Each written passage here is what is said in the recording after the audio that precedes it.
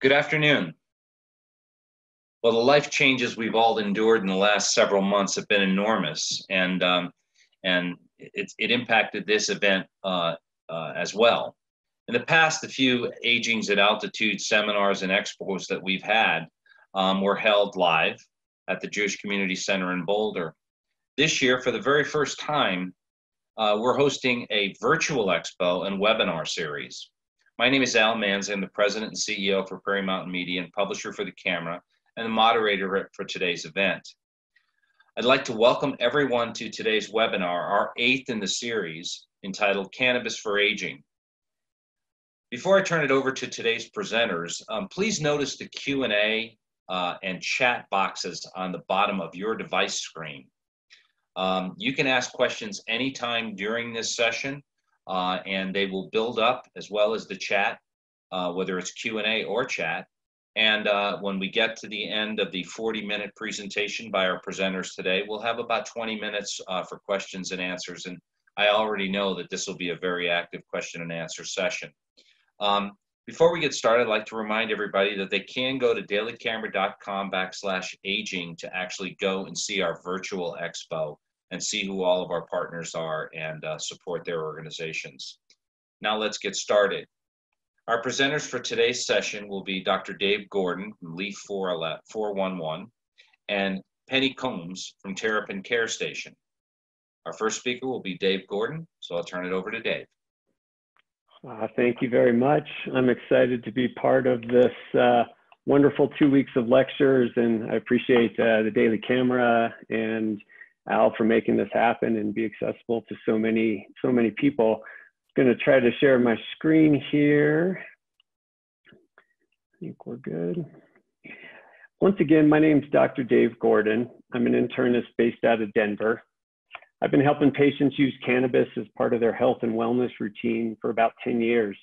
Hope to share some of what I've learned over the years with you guys today on this extremely important and popular topic. If you're interested in cannabis treatment, you're not alone. Cannabis use amongst those 65 and older has increased by almost 200% from 2015 to 2020, and it continues to grow. Seniors are the, currently the fastest growing group interested in and using cannabis. And that's no surprise. Seniors want to thrive and live active, vibrant lives. Often, a variety of chronic diseases and symptoms get in the way, and frequently the solutions they've been offered don't work well and come with a long list of side effects. Seniors are looking for better health and wellness solutions, and cannabis can be a part of that. Cannabis can be a controversial topic. So much of that controversy is due to the decades of propaganda and misinformation that we've all incorporated. There are many myths about cannabis that are simply not true. It's led to a stigma against those who use cannabis and may prevent someone from otherwise trying an effective treatment. My goal today is to teach you what we know about this plant and hopefully dispel some of these common myths. The first myth is that cannabis use for health is just a new fad. Actually, cannabis has been used as a medicine for thousands of years. Chinese physicians first wrote about medical cannabis over 5,000 years ago, and it was used in Greece, Rome, India, and throughout the Middle East in ancient times. Even more recently, cannabis was a staple in medicine. Queen Victoria's doctor regularly treated her with cannabis. In the United States, throughout the late 1800s and early 1900s, doctors always carried cannabis medicines in their black bags as they did house calls. In fact, in 1937, the American Medical Association argued vehemently against cannabis prohibition. Though unfortunately, the arguments went in vain and cannabis prohibition still occurred. Another common myth is we don't know how cannabis works. It's often discussed as some mysterious elixir that's never been studied. In reality, the cannabis plant and our body's own cannabis system are extensively researched. By the way, if you didn't catch that last phrase, you heard me correctly. I said our body's own cannabis system. We have an internal cannabis system called the endocannabinoid system. This endocannabinoid system's job is to provide balance in our bodies. It's through this endocannabinoid system where cannabis works, helping to balance and stabilize us. So let's talk about the cannabis plant and the compounds it contains. Knowing details here is important because it can help you select products that are best for you. It's also important to help dispel another myth that all cannabis products are the same, whereas that couldn't be further from the truth. Cannabis is a plant that contains lots of different medicines. We often only focus on two of them, CBD and THC, because they are the most common, but there are other compounds in the plant as well. What makes one cannabis product different than another is how these various medicines are combined and in what amounts. In general, we see better results when we use a combination of these different medicines because they work synergistically. We call this the entourage effect. Real briefly, I want to touch on some terminology. I've been using the term cannabis, but you'll also hear people use the words marijuana and hemp. Cannabis is a plant, but there could be many types of that plant. The types might differ in how they look, how they grow, and what medicines they contain. Hemp and marijuana are just types of cannabis. When a cannabis plant contains below a certain amount of THC, we call it hemp. When that cannabis plant contains above the specific amount of THC, we call it marijuana. But remember, both marijuana and hemp are still cannabis, and it's the combinations and amounts of the various medications in the product that are important, not so much the name. Probably the most important distinction between hemp and marijuana products are the regulations. Marijuana products are tightly regulated, whereas hemp products have really no regulation. For those new to cannabis, I recommend purchasing from a dispensary where you can be more confident with product quality. THC is the most famous medicine in the cannabis plant and the most controversial. THC has many health and wellness benefits because it directly stimulates our endocannabinoid system. It's been shown to help pain, sleep, mood, appetite, nausea, inflammation, and many other symptoms.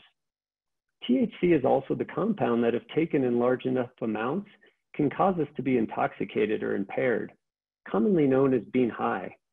While some people want this effect, many people do not. But let's destroy another myth here. Just because you're using THC doesn't mean you're getting high. I'll repeat that. Small amounts of THC do not cause you to be high. These small amounts of THC, however, can still be very valuable. Thus, we typically want at least a little THC in our products to get the maximal benefit. When using THC, the dose is important and we always start low. Over time, patients often increase THC to get the experience of mild intoxication because that's typically described as a feeling of increased pleasure and happiness, something that's very valuable for those dealing with chronic pain or depression, or just for a general sense of well being. CBD gets a lot of publicity these days. It's popular because it doesn't have the potential to cause impairment or getting high. It also has many valuable health and wellness properties. It helps our own endocannabinoid system work better rather than directly stimulating it like THC. And it also works in other areas of the body. It's especially valuable in treating pain, inflammation, and anxiety. CBD is a valuable tool, but remember, it's just one medicine in the cannabis plant and typically works best when combined with THC and the other compounds in the plant. That being said, for those new to cannabis, products that contain mostly CBD are a great place to start. This is a good time to touch on some issues regarding cannabis and other medications. The average senior takes five or more medications daily. Those medications commonly interact with each other, and they also interact with the compounds in cannabis, most commonly CBD. Now, while these interactions exist, they typically are not a problem, especially at the dosages we usually use. However, if you're taking blood thinners, seizure medicines, or certain antibiotics to treat fungal infections, interactions can be more of an issue. Also, while cannabis is not specifically used to treat high blood pressure or diabetes, we often see patients have better control of their blood pressure or blood sugar when they're using cannabis. So if you're taking prescriptions to treat those conditions, you should follow your levels closely and work with your doctor to lower your medication dose if necessary.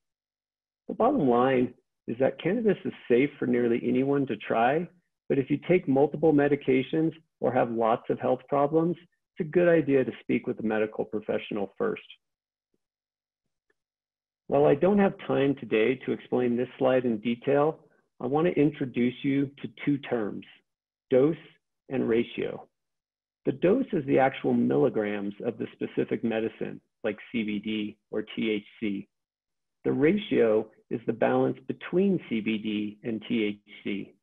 Both are important, and cannabis products are labeled with this information. High CBD products have little to no potential to cause intoxication, and we dose them by the amount of CBD. Alternatively, we dosed balanced and high THC products by the THC amount, typically starting with about 2.5 milligrams or less, and then increasing as needed. Remember, regardless of which product you use, if you start low enough uh, with a low enough dose of THC, Again, less than two and a half milligrams, you're not likely to feel intoxicated. And also remember, mild intoxication is not always a bad thing, especially for those dealing with pain, trauma, depression, or for those just wanting some increased pleasure and happiness out of life.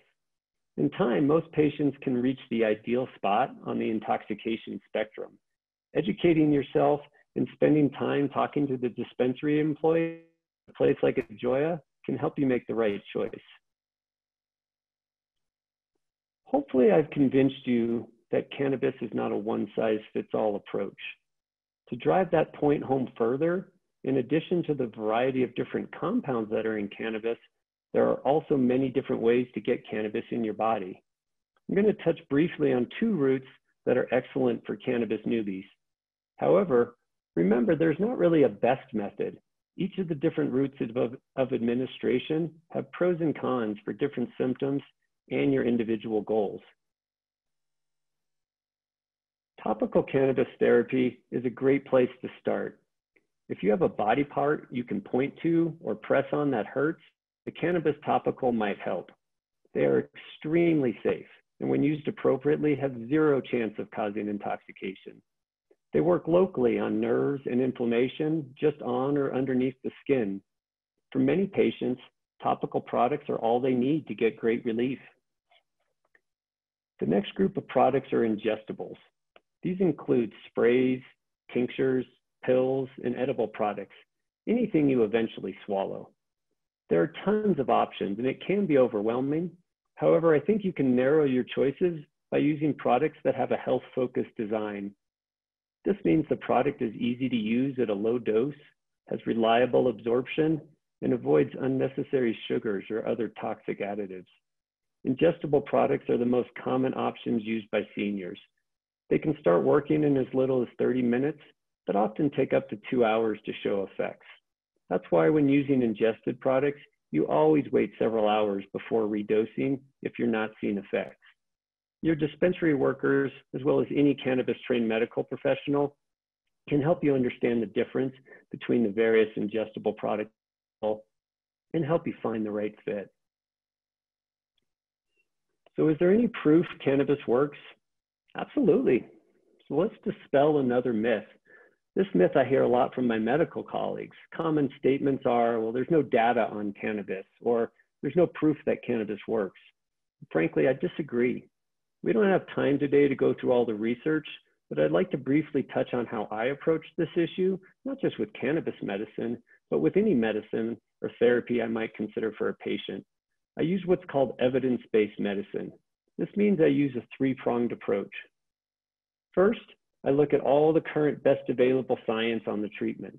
This includes how the treatment works in the body, as well as the studies investigating that therapy. But again, this is just one of the three parts. Next, I look at what the patient experiences with the treatment. This includes how other patients have responded to the treatment, as well as the goals and the values of the individual with whom I'm working. And finally, I use my clinical experience. In over 20 years of practice, I've seen what works and what doesn't. and that experience is part of my decision making. So when I look at cannabis therapy through an evidence-based medicine lens, I absolutely feel comfortable recommending its use. Conveniently, many of the symptoms seniors suffer from are the same things we find cannabis helping. There's no one size fits all approach, and it often takes time to find the right product with the right dose and ratio of compounds. Remember, cannabis works on our own endocannabinoid system to provide balance throughout the body. So whether you're attempting to treat a specific symptom or just create an improved sense of well-being, it's something to consider. We also have to think about cannabis in the context of the alternatives we're currently using for symptoms, which is typically a lot of prescription medication. Cannabis has the potential to replace many common medications. For many patients, rather than take a separate pill for every symptom, they'd rather use a plant medicine that could treat many of their symptoms at once with minimal side effects and be more personalized to their needs. My clinical experience and much of the research on those using cannabis suggests it's a safer and more effective option for many issues. Now, again, we all want to minimize our prescription use, but one warning, please don't stop any prescriptions without first consulting the doctor that prescribed it. Despite how valuable I think cannabis can be, remember it's not a magic bullet for all your problems. It's just one piece of a comprehensive approach to health. While research has proven cannabis is not a gateway to more dangerous substances, I still consider cannabis a gateway, but rather one to a more personalized, holistic approach to care, one that looks at all aspects of health, or what I call the four pillars food, movement, relaxation, and community. If you haven't listened to Doctors Rusk and Henry's talk from last week, please do so.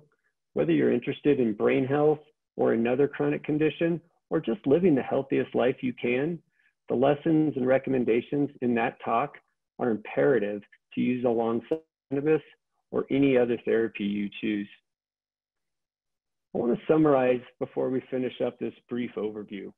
Hopefully I've dispelled some common myths about cannabis. The plant has been used for thousands of years and works by interacting with our own cannabis system, the endocannabinoid system. Cannabis is not one medicine, but rather a plant that contains many different medicines that often work best in combination. THC and CBD are the most common medicines, and finding the optimal dose and ratio of those compounds is key for success. If you're new to cannabis, consider starting with topicals or ingestible products with a medically focused design. Cannabis medicines are not risk-free, but when used appropriately, can be and effective for a variety of symptoms or just improved well-being. Remember, it can take time to find the right regimen and best products for you. Educate yourself and be okay with that process. Cannabis is not a one-size-fits-all therapy. Most importantly, please focus on the four pillars of health, food, movement, relaxation, and community. Long-term success is impossible without those. Now, is this you? Despite my best efforts, this is exactly what you're thinking right now. So think, think some answers for that. First, dispensaries are not just places to buy products, they're great educational resources. For example, at Ajoya dispensary, you can meet one-on-one with the sales consultant, either by video call or in person at the store to discuss your goals and the various product options. They can focus on your needs as an individual to help make cannabis accessible as a wellness tool. Also, if you're interested in using cannabis, please burn this name into your memory, Leaf 411. Leaf 411 is a nonprofit that provides free education by cannabis trained nurses. Call the hotline to speak with a nurse that can either answer your question or direct you to someone that can. It's a free, anonymous, trusted source to help you on your journey. Knowledge is power, especially when it comes to your health. The most educated patients have the best outcomes, and this is a great resource for anyone considering cannabis medicine. Thank you so much. I'll be excited to answer your questions in a little bit, and I'll let you move on to the next speaker.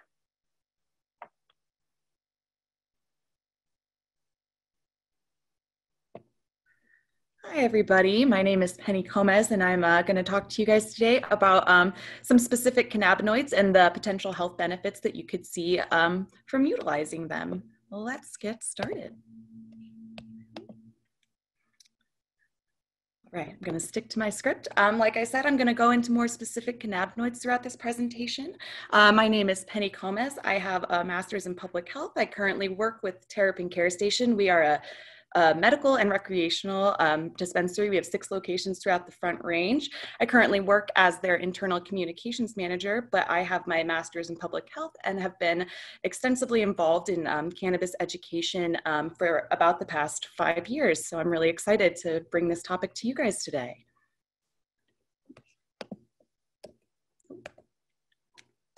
So like I said, I have been really involved with cannabis education for about the past five years. Um, when I started my master's in public health program, um, it led to this question over and over again from my professional peers, from some of my professors, and uh, from my parents the most. Um, they were curious as to why I was so interested in educating about cannabis in particular.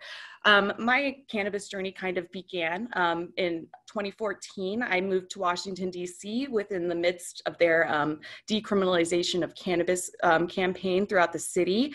Um, I joined the group, the National Organization for Reform of Marijuana Laws, um, just because I was I wanted people to have the choice. I think that people should be able to have all the tools available to um, have the maximum amount of wellness in their life.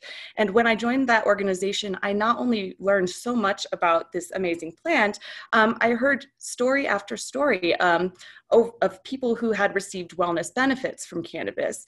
And then it made me curious as to why we have grown up in this culture. You know, a lot, I've, we've received some questions already. You know, we all grew up with just say no. Um, we've grown up with the assumption that, you know, there are no positive benefits to cannabis, but rather negative consequences. Um, but if you look at the history of the research um, base of cannabis, the United States have, has made it um, close to impossible to study it here. So, of course, there is the assumption that because it's not being studied here, that it's not being studied everywhere else. But there are a, a lot of universities throughout the globe um, that are studying cannabis and cannabinoids very extensively all year round. Um, so I will show you my sources at the end of this presentation, but um, I just wanted to clarify why I am so passionate about this particular topic um, today. All right, and so I wanted to just outline some health issues prevalent um, in the aging population, as well as some um, demographic patterns that we're seeing with the aging population here in Colorado. Um, as you can read, these are the most, uh, these are some of the most common chronic illnesses that um, the aging population will experience. Um, kind of like Dr. Gordon's um, four pillars, I, I kind of place it all under the umbrellas of mood, pain, and sleep. So that's kind of how I have framed this presentation with those three pillars of my own. Um, and then in, I got this um, information from the state demographer's office. As you can see, the population of, um, of of aging people is is growing in Colorado, um, which is awesome. Um, and you know they are getting more curious about cannabis because it is pretty normalized here. Not it's not 100%, but um, I think that it's really important for people in the aging population to be educated about these things that could be a potential tool for your wellness. Because as the population grows, you know, we are in in the same uh, healthcare system, I know how difficult it can be sometimes to get in with specialists or get in with your primary care physician. So if you have another wellness tool that can kind of tide you over until you're able to speak with a medical professional, I really think that it's great to have that option and to be as educated as possible about these topics. So what exactly are cannabinoids? I know that uh, Dr. Gordon also touched on this a little bit. Um, this uh, definition is from the education website Leafly. Um, it says that cannabinoids are a class of chemical co compounds um, that derived from hemp and cannabis plants. They interact directly with your endocannabinoid system. And I just want to repeat because I think it's very interesting and very important. Um, we all have endocannabinoid systems. Your body is primed to, to take in these kinds, the, these cannabinoids. Uh, it helps you feel balanced. It helps you reach homeostasis. Um, I just think that it's it's very important to repeat that you have this system that is ready to, to take up cannabinoids. Um, additionally, um, I, it's cool that there are 113 cannabinoids that have been discovered, but there are apparently sev- several more that um, are being discovered, you know, every day. Um, the Hebrew University in Jerusalem um, is kind of the leader in that kind of research, and they're who I kind of pull um, a lot of my research from. Again, I will provide the source information at the end of this presentation. So um, we have already talked about cannabidiol, CBD. It is just the hottest um, cannabinoid of the time. Um, as far as what potential health benefits are, um, I see the most potential benefit for both pain and mood.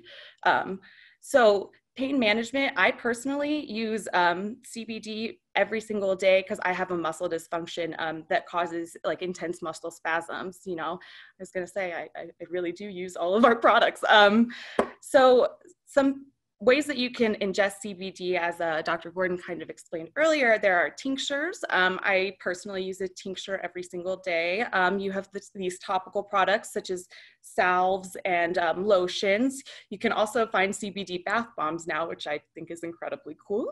Um, you can also find concentrated um, CBD, isolated CBD um, and you can also just find regular old cannabis strains, just the flower plant that will have a high con higher concentration of CBD. Your bud tender, if you go to a dispensary, will always be able to find the information about what um, dosage of CBD and the ratio that you'll get um, in, in any product that you'll um, try to check out.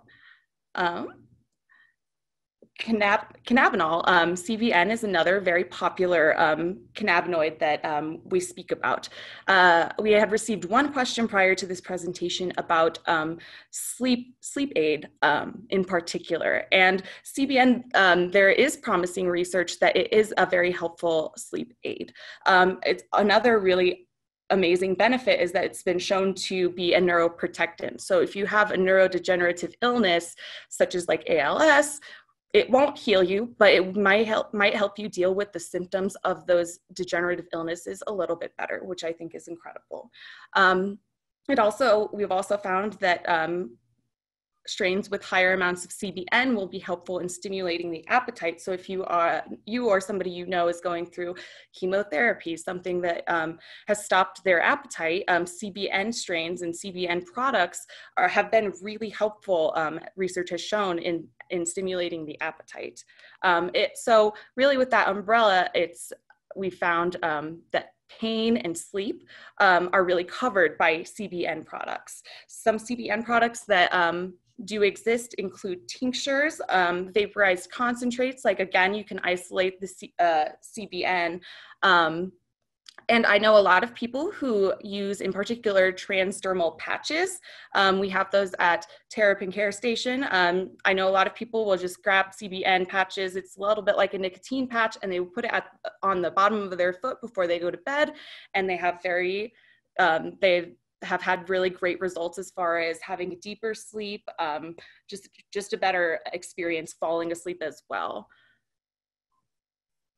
And then this last one is cannabigerol, um, CBG. It's one of the newer, um, they're they're studying the benefits of this um, and so there's a little bit less research but the research that they do have is pointing to very uh, specific physiological systems that are affected by um, by cbg and can be very helpful for very specific um, things so like um, glaucoma relief, uh, as you see here. Um, it also has been really um, successful so far in trials of MRSA infections. Um, its antibacterial um, properties have been very, it's, it's uh, the, prom the research is very promising, which I think is very incredible. Um, again, some CBG products that you might be able to find at your local dispensary um, or, or head shops sometimes. You can find isolated CBG at this point. Um, you can also find topicals. Uh, I've also seen some capsules that um, you just take like a regular pill and apparently it has very high CBG content and um, people are having great success with those kinds of products as well. So again, Dr. Gordon uh, touched on this topic earlier. Um, the entourage effect implies um, that CBD, uh, you know, CBN and CBG, um, you can get isolated cannabinoids, but it will bind better to your ECS that you do have if you your endocannabinoid system um, if you do take it in tandem with other cannabinoids. And um, this is important because I, I think that um, usually when you see these trending CBD and CBD uh, in your gas station and your King Supers, you're finding isolated product. Um, and so you might not see the benefit. It's really easy for somebody who has bought um, a, a CBD product off the shelf at King Supers, if they don't see a benefit, then they write off CBD as a whole without really understanding that without other cannabinoids, you might not be seeing the wellness benefits um, that, that you should be seeing or that you could be seeing if you used it in tandem with other things. And this also leads me to the point where um, also with with uh, things that you will find in your King Supers or on your grocery store, you might not be able to access the testing um, the testing results of these products. You know, you you can't necessarily always guarantee that what you are getting is fully CBD. Um, I know myself. I um, I have bought CBD and it just made me fall asleep and it became really clear that it was just serotonin or not serotonin, uh, melatonin because it helped me sleep, but it wasn't helping my muscle spasms. So it's always really good if you are trying to educate yourself and if you are trying to to uh, test products um, to go to a dispensary because we are a high compliance industry. We we have to test our products very extensively and we have to allow our consumers to see that those testing results. So i would always recommend if you are trying out um, cannabis in your wellness routine i absolutely recommend checking out a dispensary. And that brings me to this slide. Um, uh, Terrapin Care Station, we have six locations throughout the Front Range, as you can see here. Um, they are all adult use um, recreational, so you don't need a medical card to come visit us, though our Manhattan location does have both recreational and medical options. We have very knowledgeable attenders. We, we ensure that um, they are getting all of this health information um, as, as even I receive it. So um, they are very knowledgeable and they really, really enjoy helping people find products that work for them. Um, you know, it might take a couple trips, but, but you can always find um, people that can give you other options. Um, I just wanted to pop this on the screen because um, I love educating about cannabis. Uh, it's a topic that um, is very close to my heart and has been very helpful in my own wellness routine. So I wanted to place this contact information here. Um, there is my email address. You can also visit terrapincarestation.com to see all of the products that we offer um, if you want to try specific things. And then I also, I just wanted to leave you with some educational resources. I have either worked with or uh, for a, a lot of these organization. So uh, Hempsley is more of the 101 if you want to learn a little bit more about your endocannabinoid system in general. Um, they, they are really helpful. They're Missouri based and Missouri just legalized their medical program. So they really have that 101 um, content on lock. Um, Mary's Medicinals, um, they're actually a cannabis brand and we carry them at Terrapin Care Station. Um, again, I use their products and they also have very um, good research on their website. And then as far as academic materials and what I really pulled a lot of the information from this particular uh, presentation for, um, Hebrew University in Jerusalem, as I had said earlier, um, they kind of are the lead, leading the conversation on specific cannabinoids. So if you ever want to look at the high level science type um, articles, then you can definitely check them out. But again, if you don't want to do that research, I can, I, I will always do it for you. I, I very much love this topic. And that's all I have for you guys today. Penny and Dave, uh, Dr. Gordon, uh, Penny, I mispronounced your name, Comas, I'm sorry.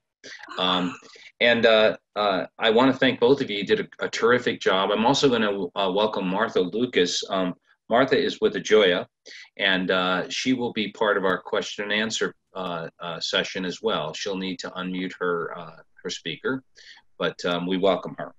So let me get started with the questions. And I'm glad because we actually have a few more, a few extra minutes in this session for questions.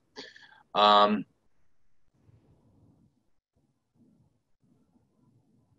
uh, the first question was, what is your comment source, 55 and older use, use 20, 200% higher. I guess that's for, for Dave, uh, Do Dr. Gordon.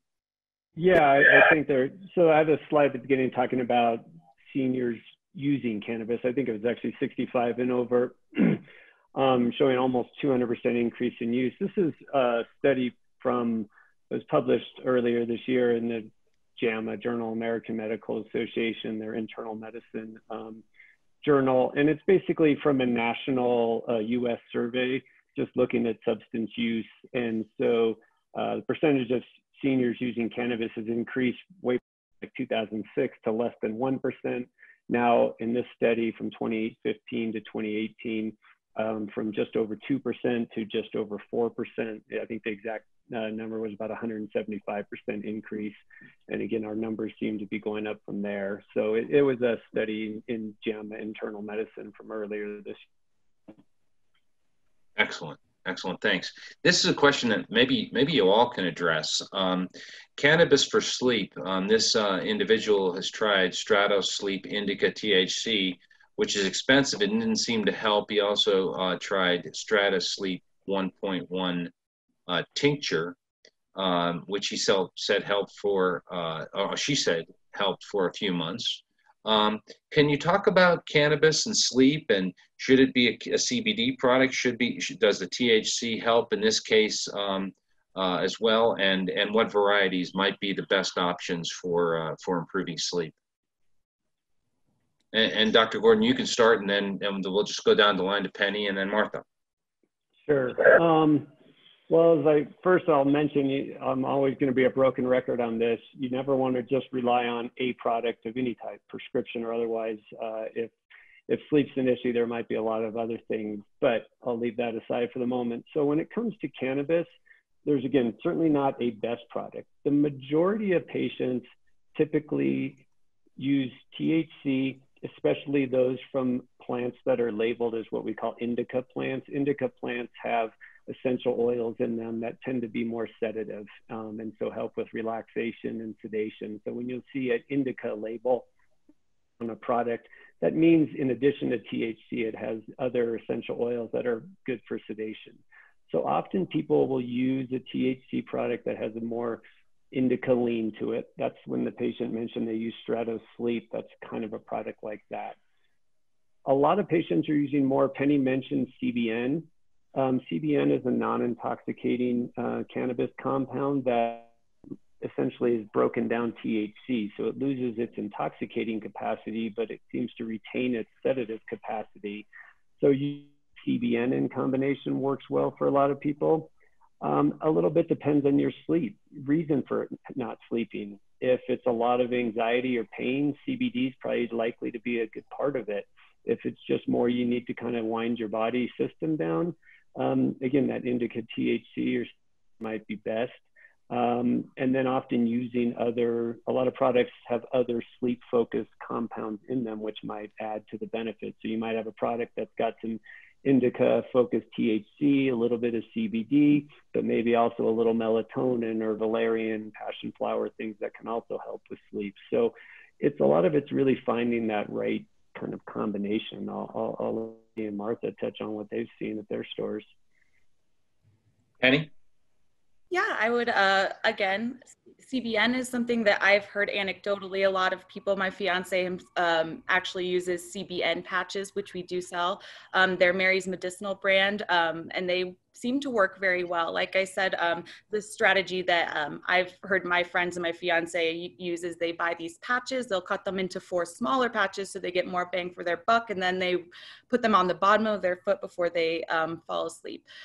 Though I will say um, it is really important to consider like Dr. Gordon said, why you are experiencing some trouble falling asleep, because that might um, be able to lead you to different products that um, may be something we didn't mention here. So again, I really recommend either um, talking to, to your bud tender at a dispensary or even reaching out to Leaf 411 um, and really discuss this deeply with um, a physician. Martha, anything you'd like to add? I mean, yeah, just to echo what uh, both of these two experts already said. Using CBD and THC in combination with other plant medicines or botanicals can really be effective for people we hear great feedback all the time on products like 1906 Midnight, which is combining low dose THC and CBD with other plant medicines like Corydalis root, which is very effective for a lot of people. Chiba Chews makes a great product now that's CBN and melatonin based. So I would just say to people, kind of, uh, don't be afraid to experiment with some other cannabinoids and some products that have varying ingredients to give you the effect you're looking for. In addition to focusing on, you know, whether you're having an issue falling asleep or staying asleep. That's one of the questions we usually ask people when they mention insomnia is, you know, what seems to be the issue for you? And then going to, um, you know, some sort of, of route that way. So, yeah. Excellent. Thank you. Um, this is an interesting question. Many elderly people have strong values of the era of thinking that marijuana is a stepping stone to hard drugs and that a person should just say no. As a result, they are strongly against the use of cannabis products. What approach can we use to ask them to consider using it for pain relief or other medical conditions? Martha, you want to start us off with that one? Absolutely. You know, for us, we see all the time that personal testimonials make the biggest difference it is really easy to write off certain ideas or ways of thinking if you don't have that connection to it. But once you or someone that you love, a friend or a family member, has a personal experience with an aspect of cannabis that enhances their life, it really starts to shift people's opinions and get them to sort of open their mind a little bit on you know what could be possible with this plant and the different ways that it's being used now. It's not the same old you know reefer that people uh, are thinking of from back in the day there's a lot of science behind the products now and so yeah i would say talk to the people that you love talk to family members friends people in your community that have had interactions with this plant and these products and you will probably be surprised what you hear Penny, would you like to add anything to that? Yeah, um, I definitely agree with Martha's um, thoughts there. And I also would add, um, you know, we're in America where the just say no uh, mentality really has um, been the norm for many, many years. However, like I said at the top of my presentation, um, just because we haven't studied it here in America does not mean that the research does not exist. So in addition to um, having these personal testimonies, you know, there are there is a wealth of research that you could look into. And again, if you want help synthesizing any research or you want some um, scientific resources, I'm always here. Um, you can always contact me. Um, but yeah, so that's, that's what I have to add. Dr. Gordon, anything you'd like to add to that? Yeah, I think it's really, when you're really trying to, so to speak, convince a, an individual, a one-on-one, maybe a friend or a family person, really just understanding where they're coming from and and how they kind of how they learn. So if there's someone who's like me wants all the facts, wants the science, you know, is very analytical, give them the facts, give them the science. It's it's pretty hard not to listen to lectures and read the science on cannabis and and not have those myths and stereotypes be broken. Uh, other people, as Mart said, really they just want to know the personal experience and like, wow, that's that was your experience. Oh, I, I didn't understand that. So it's really just understanding what's giving them fear and, and then giving them the stories and the facts to to help change that um, and and just know brainwashing is effective. So we've all been brainwashed um, for for 80 years basically. So uh, you just got to give people time and space to to kind of accept the the facts that are really there. Thanks so much. Um, you know we all love our pets. Um, and uh, a question came in about uh, CBD for dogs or other pets. Uh, Dr. Gordon, why don't you get us started on that one? Because there, I know there's people out there thinking about their pets as well.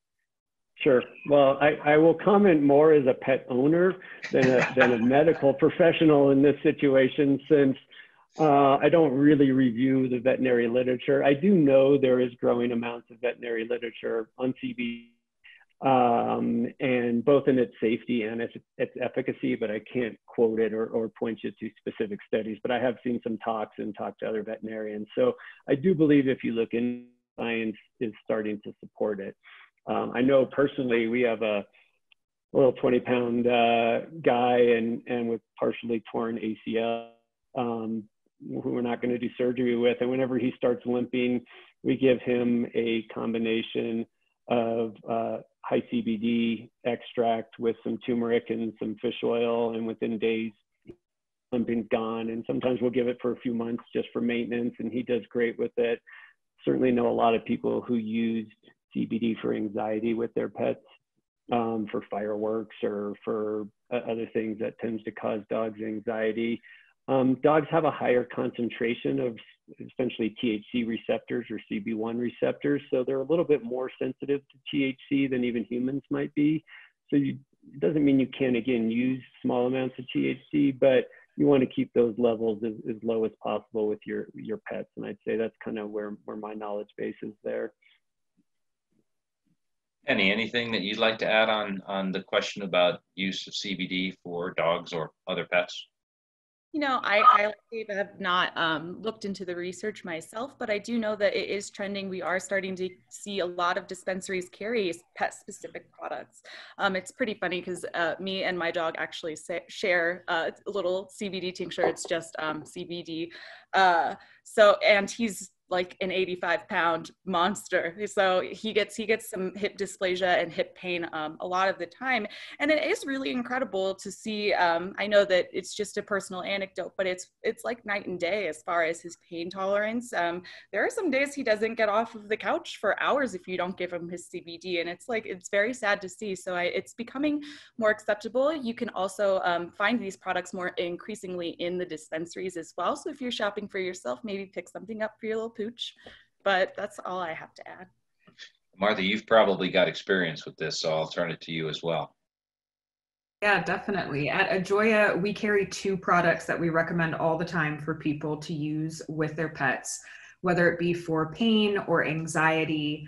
Uh, one is a product by a company called Iovia. It is a tincture. It's a 20 to 1 CBD to THC tincture. So very high in CBD, very low in THC. And that liquid you can add to treats or food. Um, it's really easy to, you know, add it into their routine. And then there's also another tincture by a company called Sweet Mary Jane that has CBD in addition to THCA.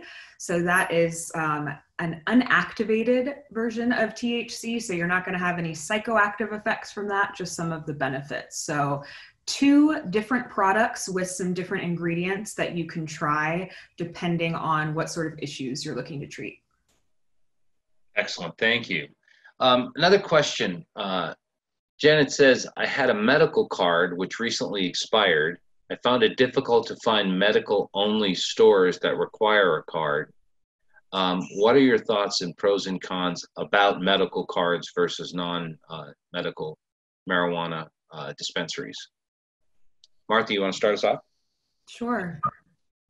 You know, there's, it's really personal at this point. The main difference in products you're going to see um, in a medical store versus a recreational or retail store are the edibles. Um, you know, for recreational, edibles are capped at 100 milligrams per package, where on the medical side, you can get up to, we carry up to a thousand milligram packages of edibles. So for patients dealing with cancer or some really serious chronic issues that need very high dose daily products, a medical license can be effective. Um, you're not going to really notice a difference between the flower or concentrates, the more smokable products between the medical and the recreational side. You're just going to save a little bit of money on the, the tax by having your medical license. So um, depending on what type of products you need and what conditions you have or are looking to treat, that would direct you um, on whether a medical license would be beneficial. Penny, any experience with this or want to add anything?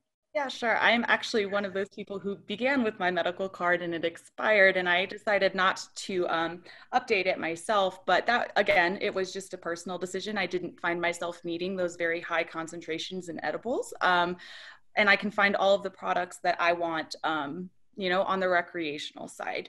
Um, I will say that the benefit of having your medical card, I think that um, having a physician that you do speak to about your cannabis use, and maybe you can discuss um, the benefits or any negative negative side effects that you are seeing. Um, having a point person, um, especially when you're getting into cannabis and, and, you're just starting out trying to find what works for you, I think it's really great to have a point person um, that is a physician and can uh, speak a little bit to the quality of your products um, and what else you should be trying if you don't see the benefits that you um, want from products that you have tried.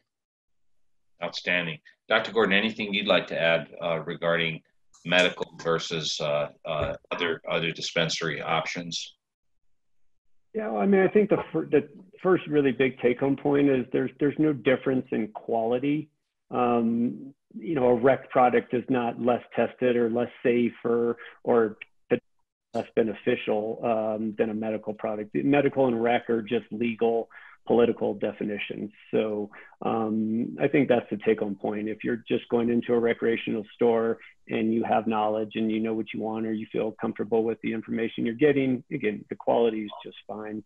I, I think the value of, of a med card beyond the little bit of cost savings is is, is, again, as, as Penny just alluded to, if you don't really kind of know what you want, what you're doing, um, especially you have complex health issues, obviously having a, a medical professional to, to kind of that um, can kind of get your starting point uh, a little bit better. Cannabis is always going to be a little bit of a find what's best for you, but if you can get a starting closer to what your endpoint is going to be, it takes less time and, and and so I think there's value there. And, and then thankfully, we've got resources. So often people will use this Leaf 411 that I mentioned. That's a free service to anybody. So they may talk to them and decide after speaking with them, yeah, I think I have enough knowledge to go into a recreational store and just purchase on my own.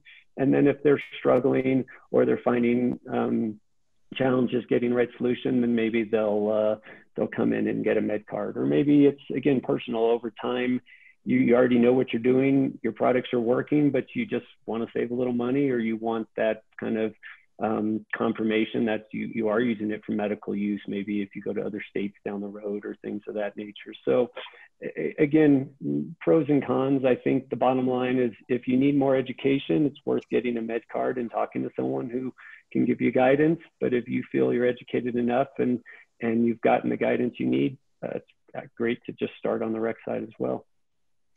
Okay, I'm going to go into my Allen Ludden mode here for password. We've only got about six minutes, so we're going to go into the lightning round here. So we're going to ask some questions quickly, and I'll, I'll ask a specific individual, and then we'll move on as quickly as we can so we make sure we get most of these answered. Um, this one has to do with topicals. Uh, I believe it has, it was mentioned that topicals reach the nerve endings just under the skin. Does this mean that deep muscle or joint pain would not be effectively would not effectively be treated by topicals. So I'll go to Dr. Gordon on that one. Yeah, and generally, the deeper the problem, the less valuable a topical is going to be. So, like a hip arthritis, I wouldn't find a topical to be valuable, or treating the pain of a degenerative disc at the disc level wouldn't be valuable. Some topicals are formulated to penetrate deeper. We call them transdermals, and it's a little broader of a topic. But in general, think superficial issues, tendonitis, hand, wrist arthritis. Some people get benefit in the knees, but some don't. Um, but again, generally think superficial topical with exception of a few unique products. Thank you. Um, what should I expect from my first visit to a dispensary, Martha? Think that really depends on depends on what dispensary you're going to. There's a wide range of types of facilities these days, so I think really vetting your options, doing your research before you come through the door is very valuable. I can speak to the quality of service that we provide at Ajoya. You know, we strive to be an exceptional place that provides knowledge and service above what the industry standard currently is. Um, but again, I would say do your research before you go in. Um, call ahead, look at their website, look at the types of products they're carrying. Um, a lot of it can be kind of scary and foreign in the beginning. So I think calling is probably the best option. And then just being brave and heading on in. Come see us at Ajoya. Excellent. Um, question about sleep apnea. Is there any products that you're aware of that potentially could help sleep apnea? So I'll turn it to Penny and then anybody else that knows maybe something more about this or feels like they want to add anything, they can jump in. Um, so I'm totally clear on the um, physiological issues that lead to sleep apnea. So uh, Dr. Gordon might be able to field this one a little bit better. Um, I do recommend, you know, again with the sleep, uh, we're seeing a lot of people have really great benefits from CBN products. So um, that might be a good place to start. But um, if it's something else going on, um, like muscular or anything deeper, um, again, I don't really know the physio- physiology of uh, sleep apnea um, then CBD products might also be uh, pretty successful. That might be one of the times where you go in and you try one product that doesn't work, but you find another uh, product with a different, hi- a higher concentration of a different cannabinoid that does help you.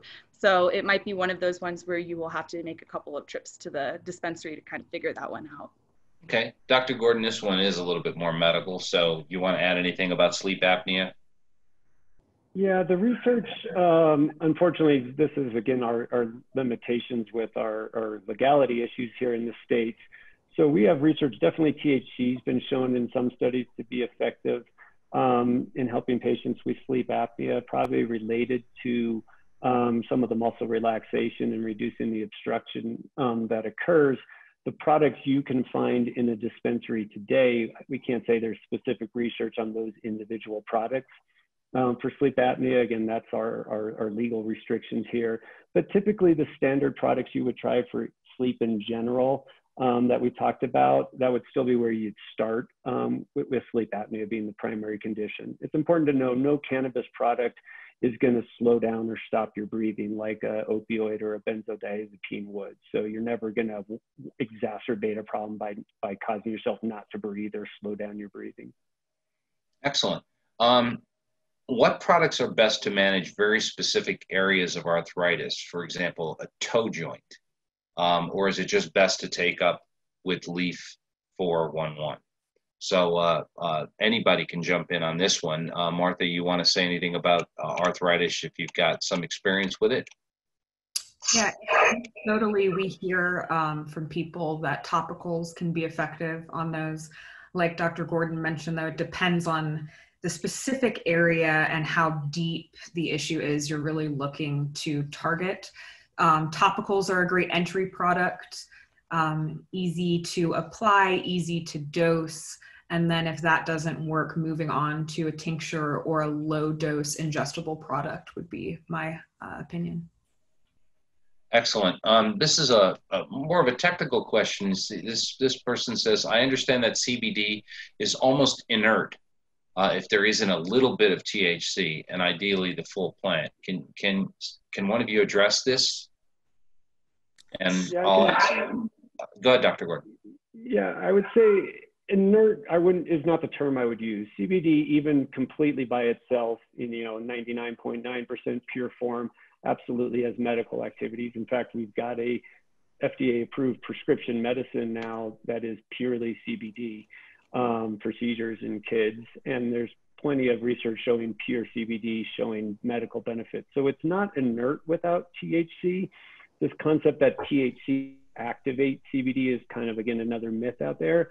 It's that small amounts of THC and all those other compounds that Penny talked about have benefits in very low amounts. So when you combine CBD with the, these other medicines, even in very small amounts, the effect again tends to be synergistic and greater. So it's not that CBD is inactive, it's just that you often don't need as much CBD when you use it in combinations with these other compounds. Excellent. And I'll let Martha answer our last question because I know people are questioning this. Is it better, is it is it is it okay to order online or is there a dramatic benefit to going to a dispensary? So I'll let you I'll let you answer that question. I think there are pros and cons to both, and not to sound like a broken record, but it's a really personal decision for you. Um, if you are confident in what you know and what you're looking for, ordering online can be a great way to save time and speed up your visit when you're in the store, especially with all the COVID um, things going on now. But again, there's nothing quite like a one on one conversation with a knowledgeable um, sales consultant like the people at Ajoya. So whether it be coming into the store or doing one of our virtual one-on-one consultations via a Zoom call like this, there's a lot of benefit, especially for the newcomers to cannabis. Well, I know I speak for everybody that was on this, uh, that listened to this presentation, that uh, uh, we had three people here that are that are extraordinarily knowledgeable and were extremely helpful uh, to everyone uh, that was listening today. Uh, Penny Komes, thank you so much. Dr. Dave Gordon, um, thank you. And Martha Lucas, you guys were all terrific. Um, and I wish you all well and thank you so much for, uh, for leading this presentation.